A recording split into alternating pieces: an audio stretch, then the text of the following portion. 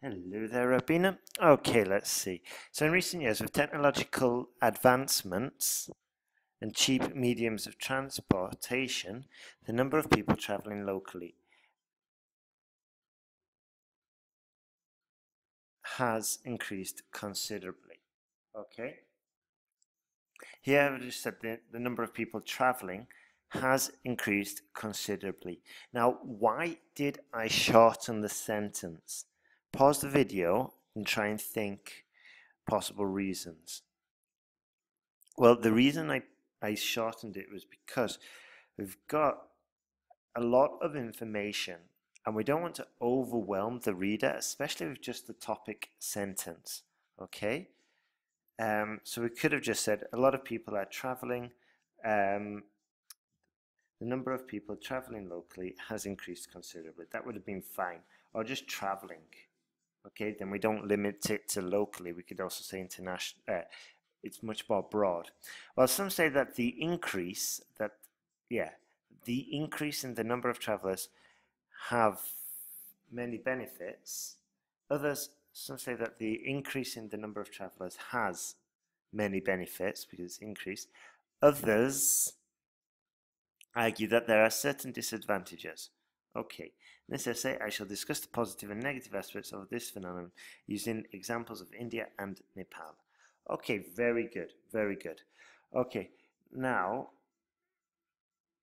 um, perhaps I would have shortened this. Let me just do a word count. One second. I'm just going to do a word count here. Ah. Okay, so that's good. 260, that's fantastic. Now, hopefully in the next essay, what I want you to do, okay, what I want you to do in the next essay, sorry, is just try and make your introductions a little bit more brief and this way we can put more attention onto the body paragraphs where we're going to pick up the majority of the points. Firstly, travel and tourism contributes tremendously, contributes to, contributes to, okay, that's the uh, preposition, contributes to, contributes tremendously to the economic development. Okay, to economic development. We could say, and we, we could say to the economic development of Asian countries, of uh, tourist uh, tourist orientated countries, because then we use the and we're saying a specific type, okay, for Asian countries, for Western countries, for European countries. However, we didn't finish it, so we could just say contributes tremendously to economic development. Oops, there's my clicking. Second, sorry. This is due to the fact that tourism can generate many employment opportunities in the um, okay in the hotel industry, airlines, and coach services, and tour guiding Okay, guiding. Once again, a long sentence that could have been cut. Okay, and when we're doing a list like this, the most common way to do it is one, two, and three. Done. Okay. Um, so here we could have just said, let's see, many employment opportunities in the hotel industry, trans airline industry. Okay, in the hotel airline, and uh, tour guiding industries, comma.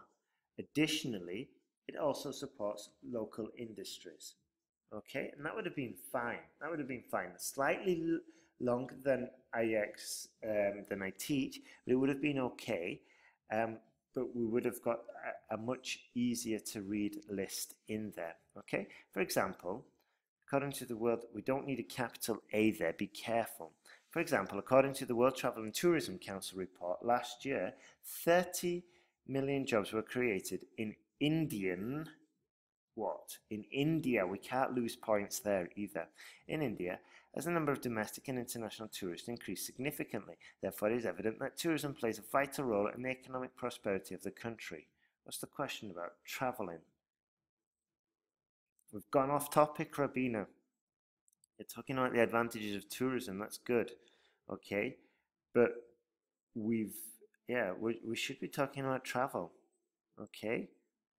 If you'd have said more about um, the travel that tourism creates, you could have rescued it, but that is off topic. So double or triple check for task response next time.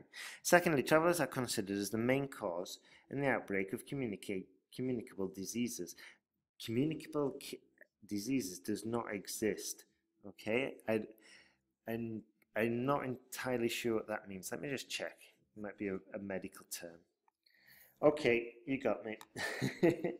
I didn't realize. I didn't know it. I think it must be like a, a more medical term. Okay. Um, so anyway, that's good. All right, let's see.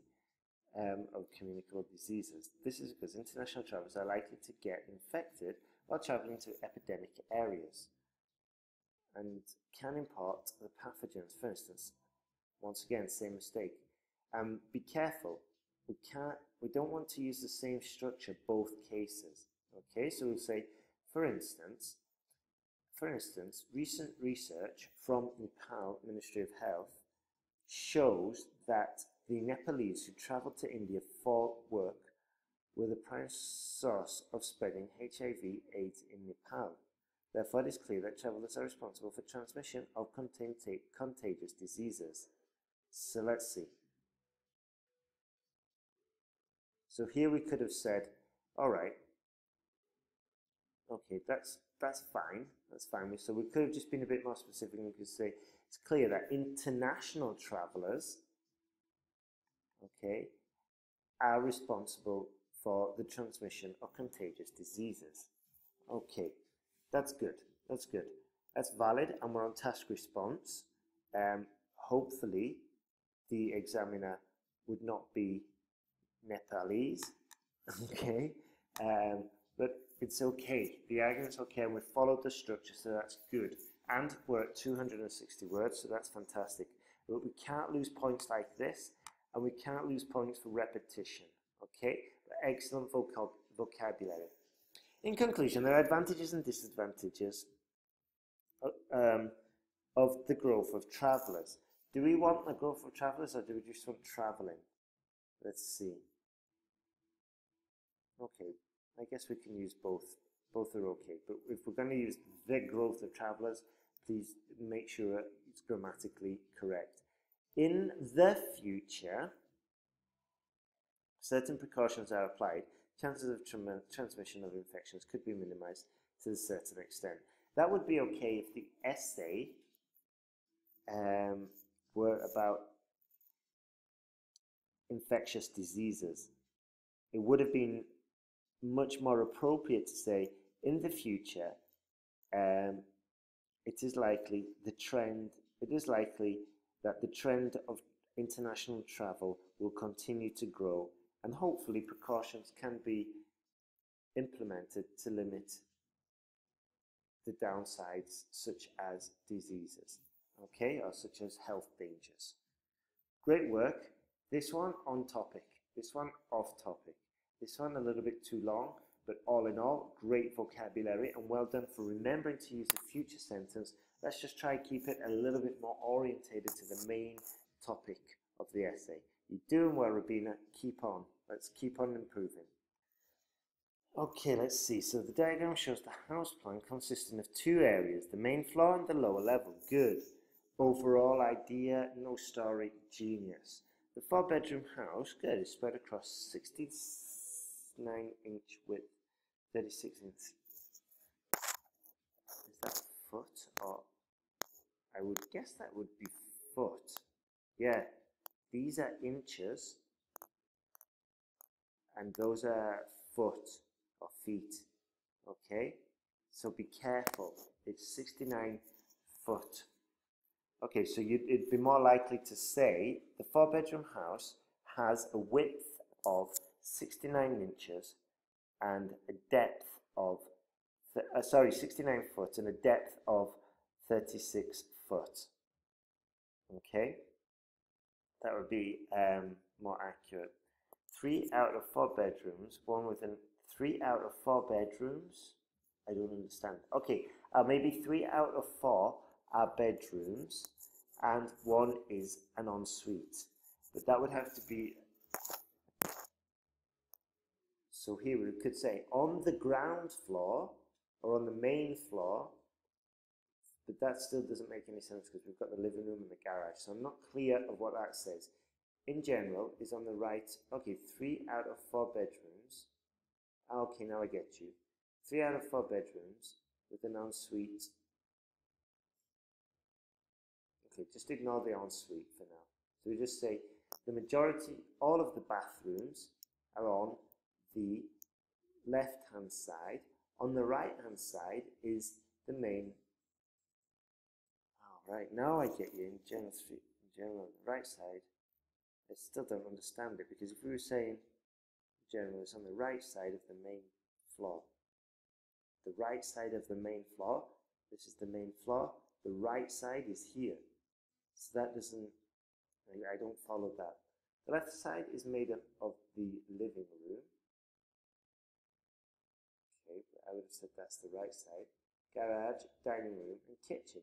The lower level has a spacious activity room with laundry and bathroom and the um, opposite to it. We don't need in we just say a bathroom opposite to it. Okay, but good vocabulary there, well done. And this is accurate and it's descriptive, except that we need it to be on the right side. Okay? So the activity room is approximately double the size of the bedroom for very good, or of bedroom for genius. There is a patio in the rear of the main building which runs across the right, okay, runs is also valid, and runs across the right side of the building, while the, okay, building, while the lower level has a terrace. Well done for using that construction, and you've used it correctly, good. A closet has been built in each bedroom Bedroom 2, 3 and 4 are almost of same size, whereas the master bedroom is slightly bigger.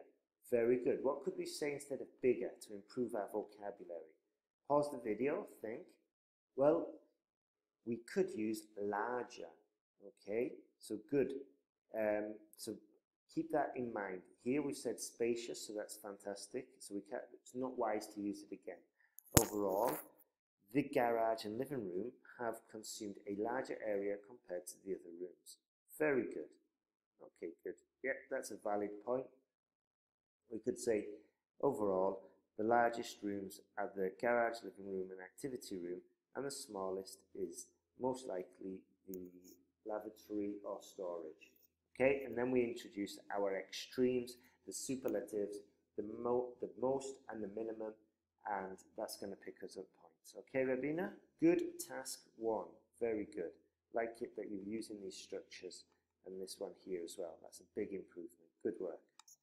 The bar graph illustrates the total number of new and used cars sold in seven different villages in the year 2013. Genius. Well done. Great start.